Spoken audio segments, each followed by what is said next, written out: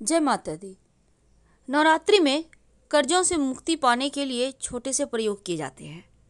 वैसे तो आप तीन दिन लगातार ये प्रयोग कीजिएगा, लेकिन मान लेते हैं आपने नवरात्र में किसी कारणवश नहीं कर पाया। तब आम दिनों में तीन शनिवार ये प्रयोग कीजिएगा।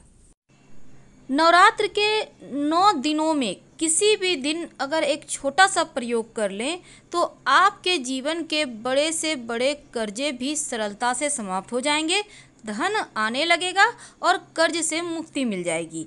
आपको ये प्रयोग, हालाँकि तीन दिन लगातार करनी है, लेकिन नवरात्र के किसी भी दिन से शुरुआत करके कर सकते हैं। अगर नवरात्र में नहीं कर पाए किसी कारणवश, तब आप बाद में कब करें, ये भी हम आपको बताएँगे। तो चलिए शुरुआत करते हैं। कर्ज तो हर कोई चाहता है, वो कर्ज मुक्त जीवन जिए। अब कोई शौक से तो लेता नहीं, लेकिन अगर मान लेते हैं, किसी भी कारणवश आप कर्ज में फंस चुके हैं, अब फंस चुके हैं तो निकलना भी ज़रूरी है। दोबारा से आप गलती नहीं करेंगे, लेकिन अभी जो आप कर्ज की समस्या में फंसे हैं, उनसे बाहर निकलने के लिए माता रानी के शरण में आना होगा। इस नवरात्र में एक छोटा सा प्रयोग कीजिए, बड़ा से बड़ा कर्जा भी समाप्त हो जाएगा।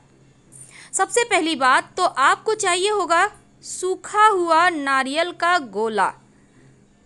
सूखा नारियल क्या होता है? देखिए जिसमें पानी नहीं होता ना, सूखा हुआ नारियल का गरी गरी टाइप का मिलता है तो आपको समूचा लाना है टूटा फूटा हुआ नहीं लाना है, एक समूचा लेके आना है तीन की संख्या में। तीन आपको लाना है छोटा बड़ा मायने नहीं रखता, आप छोटे छोटे भी देख के सुंदर सा ले ले सकते हैं, कोई दिक्कत नहीं है। अब तीन गरी और चीनी ले आइए, हाफ़ के जी घर में यूज़ होता ही होगा। तो तीन गरी लाना है, यानी कि नारियल का गोला लाना है, सूखा हुआ।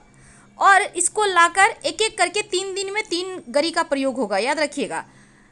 इस गरी को लाने के बाद गरी का ऊपर में थोड़ा सा सिरा काट लीजिए। हालाँकि थोड़ा हार्ड रहता है तो चाकू वगैरह की सहायता से धीरे से काटें। अब इसमें चीनी भर दें। जितना आता है पूरा भर दीजिए। ऊपर से जो काट के आपने हटाया है, ऊपर से ढक दें। अब इसको आप के नीचे लेकर जाइए। सुबह सुबह आपको पीपल के नीचे लेकर जाना है, याद रखिएगा। सुबह सुबह पीपल के नीचे लेकर जाइए और मिट्टी में हल्का सा मिट्टी हटाइए पीपल के नीचे के पास से मिट्टी और फिर वहाँ पर रख कर इस गरी को फिर से मिट्टी हल्का सा ढक दे। यानी हल्का गड्ढा करके उसमें डालना है। तीन दिन नवरात्र के दिनों में लगातार करें। अब मान लेते हैं आपने नवरात्र के दिनों में किसी कारणवश नहीं कर पाया ये प्रयोग।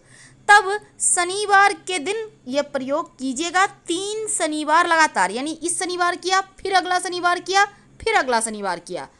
तो ये तीन शनिवार करें या नवरात्र के दिनों में तीन दिन लगातार करें। ये प्रयोग बहुत सिंपल है और इस प्रयोग को करने के बाद आपके कर्जों की समस्या से आपको मुक्ति मिलेगी।